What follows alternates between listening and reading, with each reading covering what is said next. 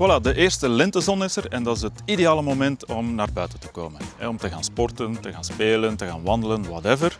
Maar vergeet ook niet, die eerste lentezon betekent ook dat we onze zonnecrème niet mogen vergeten. Nog heel veel mensen denken dat eh, de maanden juli en augustus de gevaarlijkste maanden zijn om te verbranden van de zon. Dat is niet helemaal waar, want het is niet alleen de warmte die telt, maar het zijn de UV-stralen. En het zijn nu net die UV-stralen die echt van belang zijn, want die kunnen op lange termijn wel voor huidkanker zorgen. En daar moeten we ons tegen beschermen. Vanaf een factor 30 heb je voldoende bescherming tegen dus die schadelijke UV-stralen. En het is niet omdat je een factor 30 gebruikt dat je daar ook niet bruin van wordt. Dus als je buiten gaat sporten, draag dan liefst een t-shirt met korte mouwen, zodanig dat de schouders ook bedekt zijn.